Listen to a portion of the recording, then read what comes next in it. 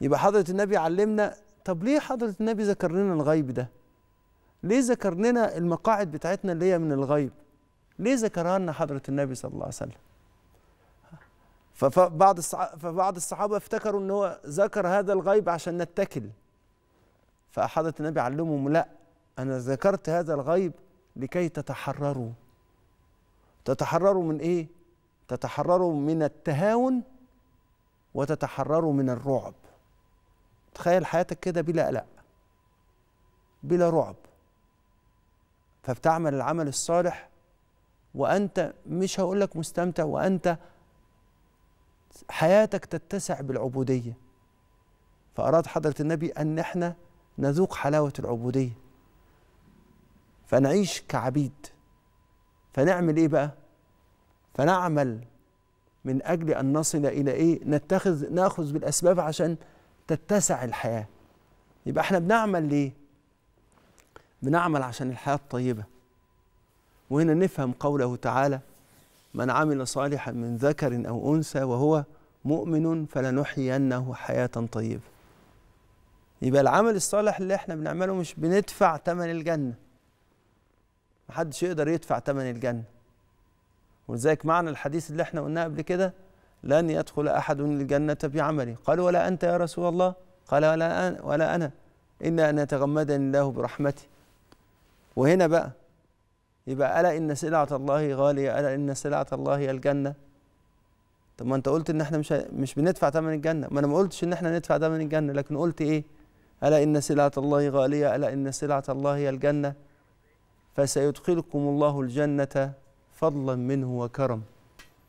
يبقى إحنا هندخل الجنة فضلا من الله وكرم. طب وأعمالنا الصالحة بنعملها ليه؟ عشان الحياة الطيبة. فلنحيينه حياة طيبة. تخيل كده وأنت بتعمل العمل الصالح وأنت ما عندكش العبء اللي على صدرك بإنك أنت لازم تصنع نتيجة إن أنت تشتري الجنة. لكن بتعمل إيه يا سيدي؟ بتعمل إن أنت بتعيش في الحياة الطيبة مع مولاك. فيا سيدي بتعمل العمل الطيب ده ليه؟ لأن ربنا بيحب ده فأهل السعادة بيعملوا أه عمل أهل السعادة ليه؟ طب وهم سعداء ليه؟ سعداء بنظر الله إليهم طب وأهل الشقاء هم أهل الشقاء ليه؟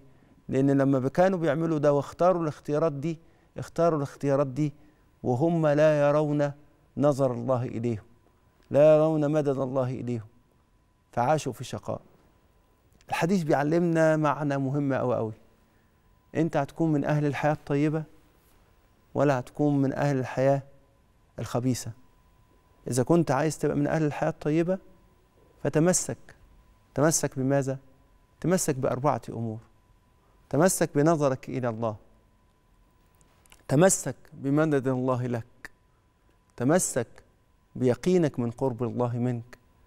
تمسك بأن أنت صاحب أمل ورجاء في الله. إذا تمسكت بالأربعة دول فأنت من أهل الحياة الطيبة. نظر الله مدد الله أنس الله ومعية الله والأمل والرجاء في الله. عيشوا عيشة الحياة الطيبة أهل الحياة الطيبة.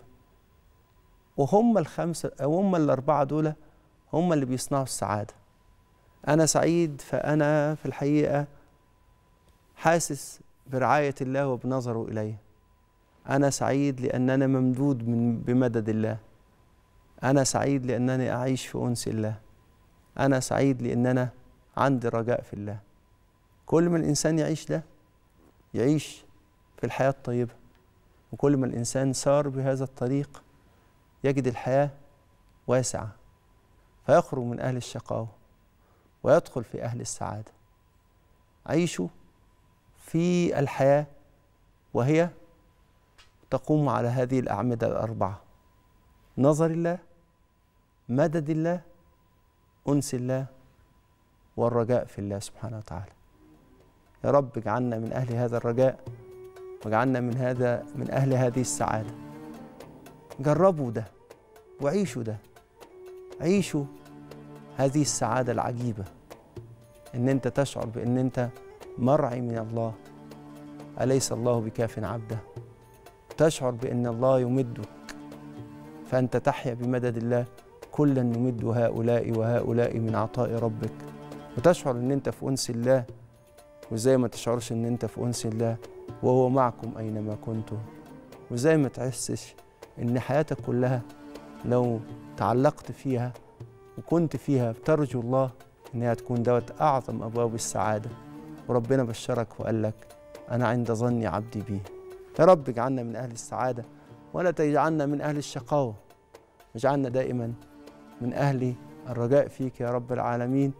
مؤتنسين بأنسك سائرين بمددك متيقنين من دوام نظرك ورعايتك لقلوبنا. يا رب العالمين يا أكرم الأكرمين اجعلنا على الدوام في مددك يا رب العالمين.